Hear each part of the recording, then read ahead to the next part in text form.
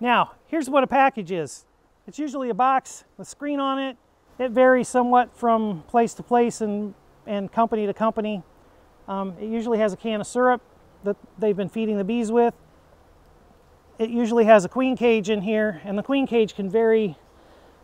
In the United States, typically I see one of three kinds of queen cages. I, I know what this one's going to be by the, by the plastic, I, plastic I see here. This will be an uh, a, AZBZ, I'm pretty sure, or JZBZ.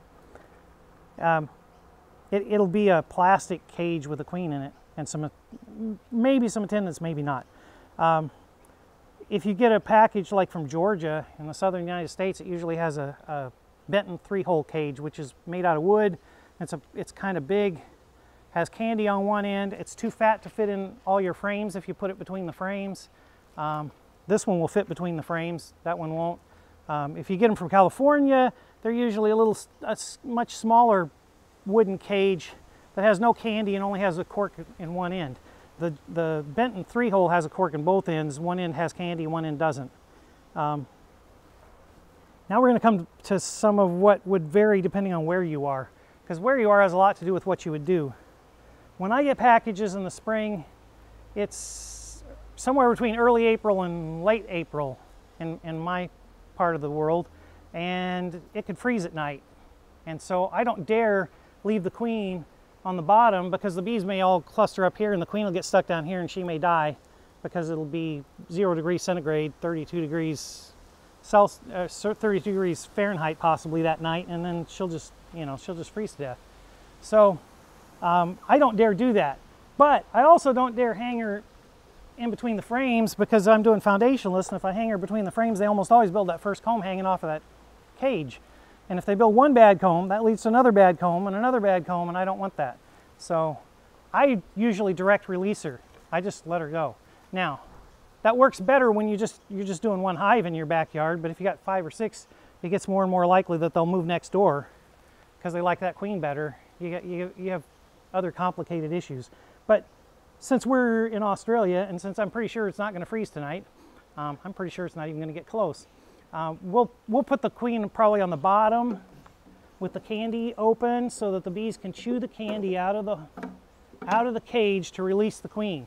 And that way they'll be stuck here for a couple of days. They'll start building some comb, they'll get settled in, and then by the time she gets out, they're, they're much more likely to stay. Um, I wouldn't do that where I am just because the, the likelihood of them leaving isn't really that much more when I direct release her, but um, it is real likely they'll mess up the comb if I hang the cage, and I have to hang the cage to have her up in the cluster. Otherwise, she, she, if I put her down on the bottom, she may not survive. Does that make sense? So that's what we're going to do today is we're going to put the cage on the bottom and um, and assume that the, since it's nice and warm, the bees will go down there and take care of her. She'll be fine. They wouldn't all cluster up there where I am and not take care of her except for the cold. They cluster like that because of the cold. They don't have a lot of choice. They don't want to get too cold. So um, I'm going to get the queen out first so we have something we can work with her and decide what we want to do with her. This is the can. You may need a pair of pliers or a, or a hive tool or something to get the rim up where you can get a hold of it. Sometimes they're wedged in there kind of tight, sometimes they're not. Sometimes there's comb hanging from it. All those are possibilities. It looks like this one, he's, they've got a hole in it for the, and screen wire in there for the bees to come in the side. The ones in the US usually have holes in the bottom or they have, uh, sometimes they have a, a, a, round hole punch with a rubber grommet and a piece of cloth in that so that they're eating it from the bottom. This one you can see they're coming out of this, so they've been coming in the side here crawling down into the can. So this is a different system than I'm used to seeing, but it's the same concept. It's a can full of syrup for them to live on. I'm not sure how they built the ladder to get down in there. Now that I take this out, of course, the bees are coming out. I'm not really trying to let them out just yet. I'm not trying not to let them out just yet. I'm just trying to get the queen.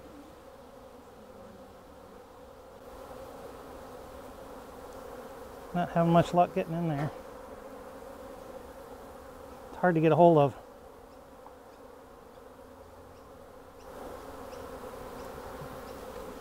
Okay, here's my queen. I'll just set this can back in here.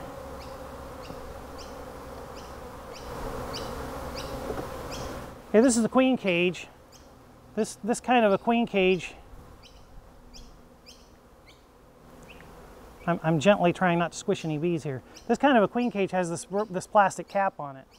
So the candy, if there is some, will be behind that cap. And it looks like there is some. So I'm going to take this cap off. And you should be able to see that there's candy in there. So there's, there's a number of theories on what to do here. It really isn't that critical one way or another. You could poke a hole in the candy. What that will accomplish is they'll, they'll chew through it quicker. I, I don't mind if it takes them a couple of days. If you come back in three or four days and they haven't chewed through it, just let her go. But um, meanwhile, we'll keep them here and they'll start building some comb and they'll get a little more established that this is home.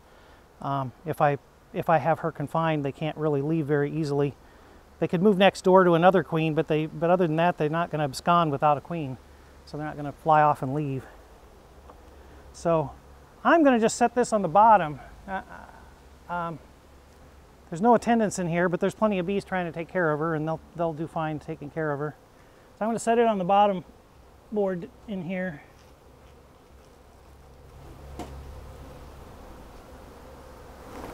Now, I wouldn't do that in Nebraska in April, but I do that here now. Does that make sense? Okay, so I got a box full of bees here. Now we're really gonna open Pandora's box. Um, there's a number of ways I could do this. I could just take the can out and dump them through the hole, and it doesn't work too bad. If you want to reuse the cage, that's what I do. If you don't really care about reusing the cage, you can just cut the screen loose and peel it open and then dump the bees out.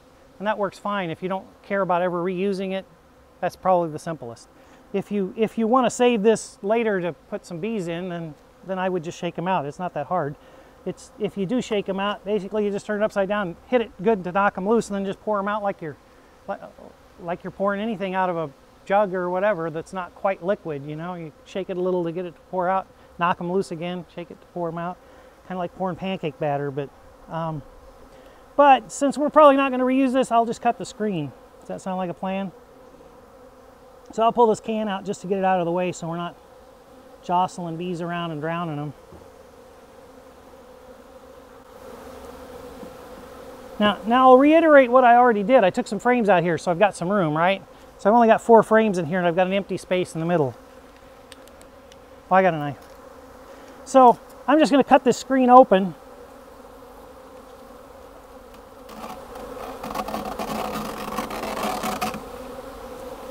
And I, I don't want them all getting out here. I want them really to go in there. So I'm probably going to move this over here about now.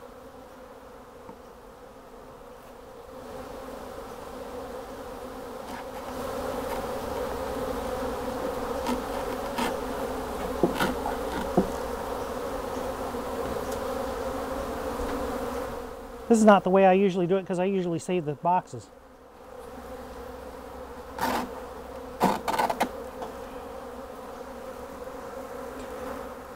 Is an odd sized box. I'm used to shorter boxes, so I'm not sure what I think about this, but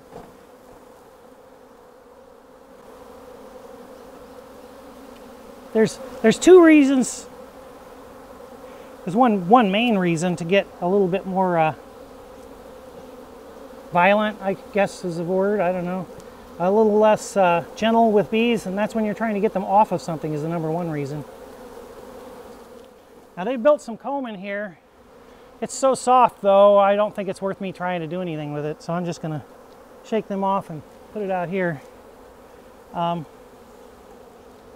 if you want to get bees off of something, gentle is not the way to do it. But almost all the rest of the time when you're doing bees, you want to be gentle. When you want to get bees off of something, it really works better just to do it surprise them, you know, hit it sudden and hard. So I'm going to knock them out of this box.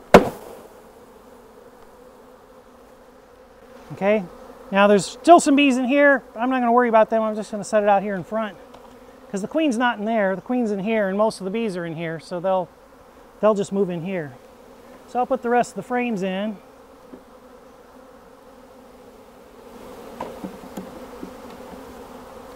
And of course, you know, you want to always be gentle. You're, you're gonna, if you're gonna keep bees, you're probably gonna squish some once in a while, but the object of the game is to not squish them. So set things down gently, and at least the smart ones can get out of the way. The dumb ones, I can't do much for.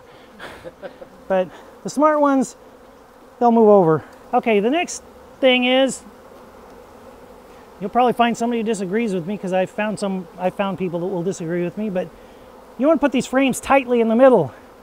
In reality, all the standard frames are actually an eighth of an inch too wide. If I could, I'd put them an eighth of an inch closer together, and I can't. So I want them as tight as I can get them because that's closer to the natural spacing of brood. If I space them too wide, they may decide to build some comb out in the middle because they don't like that you spaced them too wide.